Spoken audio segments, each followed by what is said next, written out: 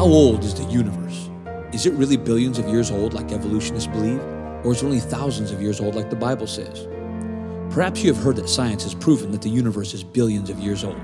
This is taught nearly everywhere, including in public school, in universities, in planetariums, and in space documentaries. However, is it possible for all this to be wrong? Is the public truly being informed about all the facts? Is there any evidence that is contrary to these evolutionary beliefs? Is it possible that true scientific evidence that points to a young universe is being suppressed? The answer is yes. There are literally dozens of scientific evidences that point to a young universe. At least 15 of them come directly from the field of astronomy, and evolutionists don't want you to know about them. Learn about these 15 specific evidences from astronomy that point to a young universe at fourthdayalliance.com slash 15.